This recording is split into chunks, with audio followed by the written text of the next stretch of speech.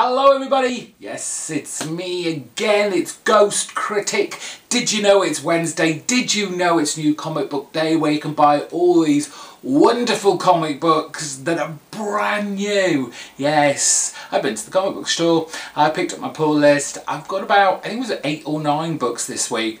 Um, I did put on an extra two. One issue that I think came out last week but I missed out on and I really need. And a new number one that I thought I'd give a try uh, that came out this week which I'll be telling you all about in just a second. Um, all there really is to say is thank you to everyone who watched the Sunday comic book review video. Um, it was a longer one than normal because, you know, some of you asked for long ones. Uh, so I gave you a long video um, and I don't know if that'll ever happen again. Um, I had the weekend off so I had the time to um, properly prepare and be ready for that behemoth of um, an upload. Right, short and sweet there. Let's get on to the books. It's all Marvel, it's all Image. There's nothing else which isn't such a bad thing. Uh, when you have The Fantastic, because I have really enjoyed this, it's only three issues in, but what's been there I've loved. It's issue number three of Jason Aaron's The Avengers. Um, love this, it's fantastic. Uh, I love the coming together of these kind of teams in the first story arc. I know it's a bit cliched, but um, there's just something about it, the way they all come together. Um, we now know that kind of Loki is somewhere involved in all these celestials dying and falling from the sky, and this um, uh, black celestial who appears to be killing them all. Um, so I'm very intrigued by the whole storyline. Great characters in there, and of course, great Ed McGuinness artwork. Um, I don't want to spoil too much for myself, but see if I can find some. Um, some fun art in here. I mean, he does some great double double page spreads, but um, good old Ed McGuinness, uh, nice and bold and bright and exciting. Uh, issue number 604 of Charles Soule's Daredevil. We are still in some respects plodding along with this storyline um, with the whole Matt Murdock now being the mayor of New York but for how much longer I wonder. Um, some gas was released uh, in New York in the last issue and then his priest turned up um, to kind of save the day or be of some use. Um, the story, like I say, it's it's kind of pulling on it. It's not bad, but um, it's just it's not hugely exciting. Um, it's very uh, kind of procedural again. Um, the balance between action and the procedural, being a mayor and all that kind of stuff. Um, it, it, it's slipping to the more more. Let's talk how we're going to use all our resources to keep everyone inside and yeah. I want some action. I want some of those big villains. Let's get rid of Kingpin. Yeah we know now. Uh, let's move him aside. Bring in some of those old classics for Daredevil to go up against and let him just have some fun being in the costume uh, issue number two of the new uh, Doctor Strange run from Mark Waid and Jesus Saiz. Um, I actually enjoyed the first issue, uh, throwing Doctor Strange into um, an environment that he's not particularly comfortable with, i.e. outer space. Um, he's landed on uh, an alien planet where they don't even recognise the word magic so I don't think he's going to find a new source of that on this planet, or maybe he does and they just don't realise it is magic. They've got another word for it, who knows? But um, yes, I enjoyed the, the premise of this, throwing him out in op uh, an open space, um, outer space. Uh, but I'm not overly keen with Saiz as the artist on here. I think he can be good in other books. I just don't think he's particularly suited to this. I mean, it looks nice, but it needs someone else on it, I think. Who knows how long it might last.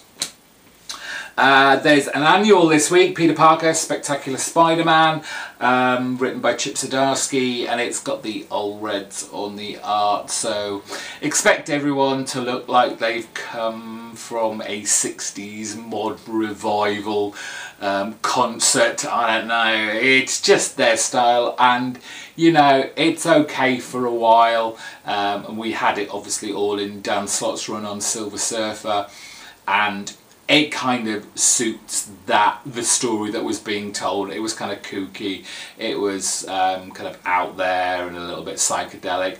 Will it really translate to this or will it just be a gimmick? We shall see. Uh, the last Marvel book and it was uh, new number one. I thought I'd give it a go. I've never collected it as a single issue. I've collected you know collected works of it um, but much like DC and the Flash I'm not overly familiar with the art with the um, story and the mythology and the history Tony Stark Iron Man issue number one from Dan Slott with art by Valerio Schiti and Edgar Delgado um, we'll see. Um, it's a big thick book so hopefully it will be kind to new readers uh, and catch them up on the present status quo of this character because I know he's been out of circulation for a while and we've had, um, is it Ironheart, uh, the young girl in the um, suit and we've obviously had Doom being the, is it infamous Iron Man? So he's been playing along with that. Um, but Tony Stark is back how? Hopefully I'll be able to fill in the gaps or Dan Slott might be able to fill in them for me but let's see how that goes. Who knows, it might end up on my pull list. Okay, the four image books. I'll start with the one that I think came out last week and I missed out on and I really shouldn't, was Proxima Centauri from uh, Farel Dalrymple. Uh, I love, obviously, love his artwork. It's so um, crazy uh, and kind of, it's got that really indie feel when indie meant something. Um, but uh, the story, I'm guessing, is going to be way out there as well. Um, I'm trying to remember the last thing I read of his. I think he did some short stories or, or a kind of ongoing in that collection, Island, that um, Brandon Graham yes, Brandon Graham did with Emma Rios. I think he did a bit of work in there and it was nice to see him still doing stuff. So, hopefully, and I'm sure it will be, uh, a lovely fun read. Um, not actually sad that this is ending. I mean, uh, I feel bad saying it myself, um, but the beef comes to an end. This five-issue miniseries from Starkings, uh, Shaky Kane, uh, Shainline, and Ross Hell.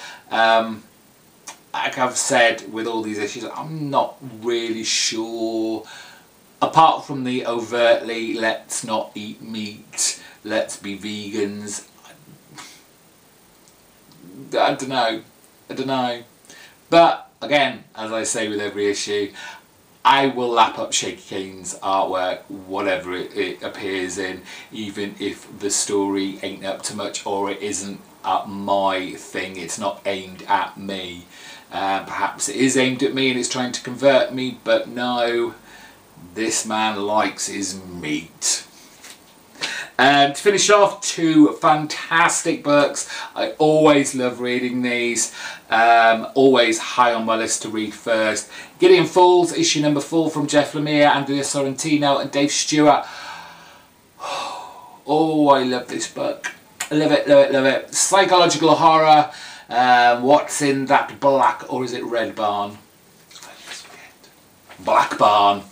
Um, we have these two kind of protagonists. They haven't quite met up yet, and I'm sure they will do leading on in the story. Um, I've no idea whether this is an ongoing or it's just a, a maxi or a mini series. I hope it is an ongoing because I need more of this kind of book in my life. It's a great story, it's beautiful artwork. Um, I just, well, Just give you a quick shot of the art. I'm sure it will be on uh, very near the top of my reviews on Sunday. Um, probably along with this, vying probably for top spot, it's Deadly Class issue number 35, uh, Love Like Blood part 4 and I'm wondering if this is the final part of the story arc and they could be taking a hiatus. Um, I'd like to think not with the hiatus at least, um, but we had the kind of um, uh, the movie 7 type ending where uh, Marcus is going to kill um, the Russian guy, the Russian guy, the Russian guy, what's his name? Um, got the drop on him. He's gonna. looks like he's gonna shoot him in the head. Uh, a gunshot did go off, but we did not see who got shot, if anybody. Um, so I'm very much looking forward to um, catching up with our uh, Deadly Class schoolmates. Brilliant stuff. And that's all my comic books. Please let me know what you've been picking up this week. Um, I think the only other number one that came out this week was a image book, Shanghai Red. Didn't appeal to me, but hopefully someone out there it will appeal to and they'll buy it and we'll hear from them how good it is or otherwise. Um, if you're new to my channel and you want to keep up with my videos, there'll be a definitely be one on Sunday uh, reviewing uh, those comics you've just been watching. So hit the subscribe button, hit the notify bell so you don't miss it. Give this video a big thumbs up and comment down below. I'll reply as soon as I can. And um, have fun with your comic books this evening. Take care. Bye bye.